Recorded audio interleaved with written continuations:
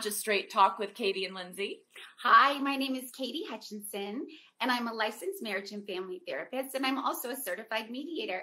And it's 10 a.m. and I'm drinking a Coca Cola. My tummy's hurting a little Sometimes you got to do that with the blood sugar, right? Yes, yes. I'm Lindsey Kearns, the mama behind MalibuMamaLoves.com, and I'm also a certified conscious trauma informed life coach.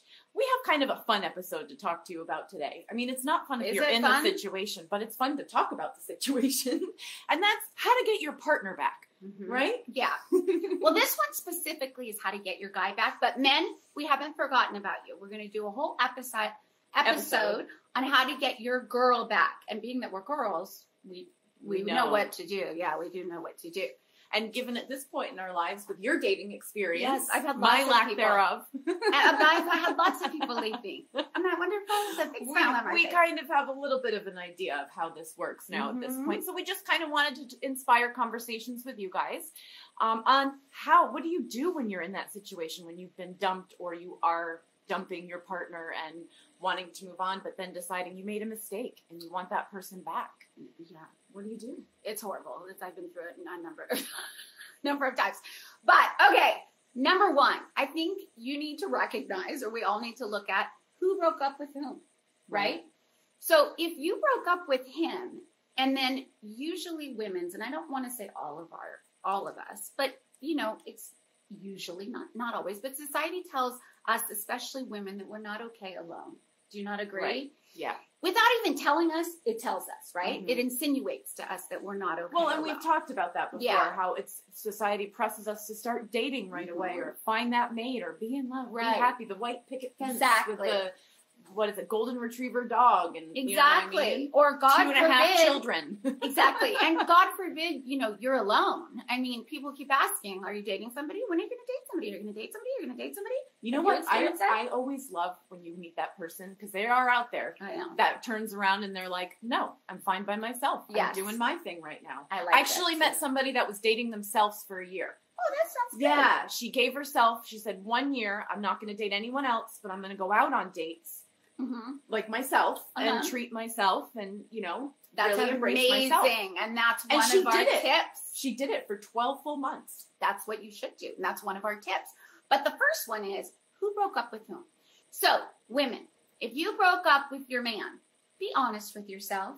Don't go into hindbrain co- crocodile mode and right away go back with the person because that's what most of us want to do. I know I've wanted to do that pretty much every time in the past. yeah Be honest. Write a list of the pros and the cons and really take the Mm. time to reflect. And we'll come back to that later. I love that, that though. time. i love that doing the pros and cons list it is so enlightening And if you can't be honest with yourself, enlist a friend or family member that can really like hold you accountable. Yeah. You know what I mean? for sure someone that knows the relationship and knows what you went through Yeah.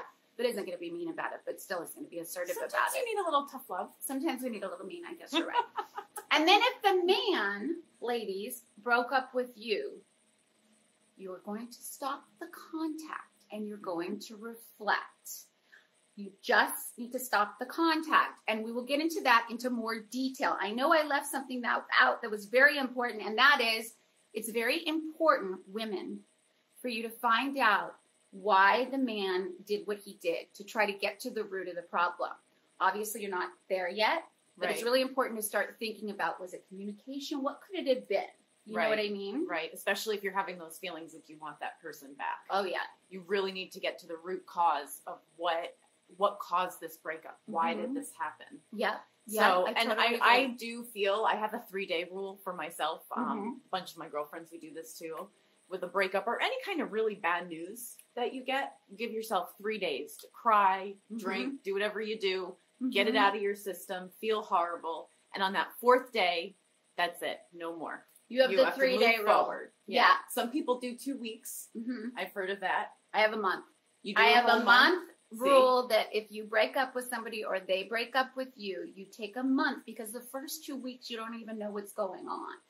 But I totally agree with you that you give yourself. Okay, I'm in a month of not contacting. Should I say? Well, I I'm in know, I month was in bed. You can't spend a month in bed. Well, Katie. I would like to spend a month in bed, but I say a good. If you need to give yourself a week or whatever, it depends Yeah. on the length of the relationship. Well, I liked, and maybe it's just because I'm too active into like Yeah. I hold myself to a standard, but I'm like three days. That's it. hmm Three days, and then on that fourth day, you wake up, you're refreshed, you got all that pain out, you've addressed it, you know, and because you don't want to lose motivation. You've already lost a relationship. You don't want to go down that steady slope Well, like okay. I did for years. Yes, and the after thing my is, divorce. after my divorce, we were together for 10 years. I mean, we were together 12 years, but married for 10. So when I was broken up with and cheated on, I was just, I didn't even know what was going on for about three or four months. It depends on that length of time that you were with somebody. So I didn't allow myself to mourn. I just went right back Right to into work. it. See, and that's bad. And That's then bad. I three days crashed. would have helped you. Then I crashed big time. I crashed big time. Yeah. So take but a lot time. of people do that. Yeah. they're so quick, you know. it, yeah, But you really do have to give yourself that permission to say, okay, exactly. I'm going through a lot. I'm experiencing a lot of emotions right now. I need to just slow it down, Mhm. you know, and experience. And that's that. okay. It's okay if you watch Netflix all day and eat Ben and Jerry's on the couch for two weeks or for a few days, Yeah. or a week, not for too long. If you're in it for too long, enlist a friend or a family member. That's right. you. Exactly. Right. Exactly. What's our number three or four? What is it? if he broke up with you? Don't contact him for a little, at least a week or two. Oh, oh, You like to say a month. a month, four weeks, lady, four weeks, and you got to be tough about it. This means no stalking, of which I've done in the past, and I'm not above saying this. Of course, I was like 16. I've I've risen above this at this point, I think. Um, no texting, no calling. Stay off their social medias. Stay off their social media. Do not blast them on your own social media. Do Well, not- and the thing is, you know, it's just going to beget more pain. oh, yeah. And there's no point to that. You're already hurting. Let yourself heal and figure out Mhm. what went wrong and Mhm. if there really is something worth saving there. Exactly. But it's very important. A couple other things is to to to block them, I think. But here's the issue with blocking that I have found out in the past. Yeah. Then you don't know what they're saying to you. However, this is a good thing because good or bad, if you haven't blocked them, you're just waiting. You're just waiting. Have you not had Yeah. that? I understand that, but my issue is when you block them, they find other numbers to start texting you with. And that doesn't go well. Well, then you're going to block them again on that. you're going to block them again on that. And another thing is, But blocking, I know you're a big fan of it, and I know it does I'm help. big, I'm a big I know it does help. I'm a huge fan of blocking. The other thing is, don't call their friends and their family and talk about how, you know, depressed you are, even though you are. Talk to your own support system. Can I tell you a little something about blocking, though, that you might not know? I already know that you can't see the stuff. You can. It goes into a section in your phone. If you've blocked the person, it goes into a different message section so you don't see it. But it's stored oh. there. I know. So that's why blocking sometimes is kind Oh, of. but you, can you just check. gave it away because I didn't know that. So I just thought it was just a great way to go. Well, but that's the purpose, right? So you don't even know it's there. Yeah. But you can if you And it's to. good because you stop waiting and you stop looking Yeah. at your phone like a total whatever. And the, one other thing is stop going to the places where the two of you frequent or Yeah. did used to frequent or you know where he frequents. And there is a special time when you will do that coming up, but not in the first month. Yeah, and the thing is, if he did break up with you, that's a clear sign that he needs some space, that something is going on with him. Mm-hmm. So you really need to allow him that space so that he mm-hmm. can miss you, so that he mm-hmm. can understand the mistakes that you think that he made.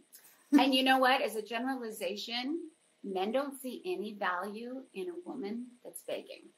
That's Listen, true. I'm not above that either. I was going to say a lot of women don't find value in a man that's That's going to that true. level. Like we That's like to be wooed, but when you But take not it like to gross wooed, yeah another Yep. level, it's like ooh, you That's know. true. You also you really want to reflect on your feelings because you can find happiness within. Mhm. That's really the only Well, place you can find That's it. the only place you can find it. And working on your own self confidence is going to help you in every area of your life. Yeah, right? for sure. So not only in your relationships and your work relationships, with everything, your friendships, etc. Yeah. Well, and they always say that the best um, revenge is success. Exactly. It's to feel good about yourself. To you just live I mean? a good, healthy, happy Mhm. life, Mhm. right? Go about that. your own path, do Your your thing, hobbies. focus on your feelings, create your space. And if Mhm. you guys become realigned again at some point, great. If Mhm. not, the best revenge is not gunning up their butts and calling them all the time and trying to put yourself in there. Let them That miss you. Makes you that makes them that makes them push you away even further, which is Yeah. not what you want. It's the opposite of what we think, right? Yeah, yeah, absolutely. You gotta let them miss you. No, I agree. So, okay, so the next thing is now, here's a time you've gone like through a month of misery, for five days on the couch, three weeks, but you've survived it, You're right? survived. You've survived it. Now's the time to make him jealous. Okay. now, listen, a lot of people are against this. I am not against this. And yes, I am a therapist and I am not against this. Now, here are some things that we can do. You can have a party and invite some of his friends at your house. Don't invite him, obviously. Don't say anything about him to his friends and all your friends. And you just have the best time in the world. And guess what? That will get back to him. You're Mhm. so funny. Mhm, That will get back to him. I'm not a jealous person, so I don't. oh, that would make you jealous. that. That would make you jealous. I'd be glad. Have fun. You would. You're gonna dump me? Peace out. No. Okay, your other option is if you're maybe however old you are and you guys would go to a bar or a certain club. Now you've had enough time to reflect. You show up at that bar, that club, and you look amazing. Yeah, but you do it for you. You do it for you and to make the person a little jealous in this instance. You're So you're going to look amazing and you're going to be very, very kind when Mhm. you see this person. You say, hello, how are you doing? Blah, blah, blah. That's it. That's it. Walk then away you walk away and you go have the best time of your life and don't look back. and don't look at him. Don't look back. No, exactly. Don't but you back. really want to be honest about what went wrong. Mhm. Don't sit there and become one of those victims and oh, this it does take two to tango, Mhm. and you need to be honest with you know the things that led to whatever happened. right. It's a- Because yeah. you know you have to acknowledge that you ha- are at fault on some level too. Yeah. I You mean, it's very rarely Just just one person. She was just falling over, so trying to figure out. It's very rarely that it's just one person, unless, of Mhm. course, you're dealing with abuse or personality disorders. So it's really important to look at yourself too and say, and look at your family and where Yeah. you've come from and what you've learned. I I tell Lindsey all the time, I learned from my dad, who I love so much, but that I could have a complete temper tantrum and scream and yell at him and he could scream and yell at me and we could get into the worst fight in the world but we still loved each other more than anything would never leave each other well your dad and your husband or boyfriend is a different situation Yeah. right right Yeah, your partner. so i feel like we have more tips but i feel like we're starting to run short on time what do you think? We think are. I think we'll come back again on Wednesday. We're going to talk more about how to get your woman back. But we on didn't even hit Wednesday. i like five more tips we got right. five more tips Do one more. we'll do One more. Well, we'll do them on we'll do them on uh, Wednesday. We'll let them wait.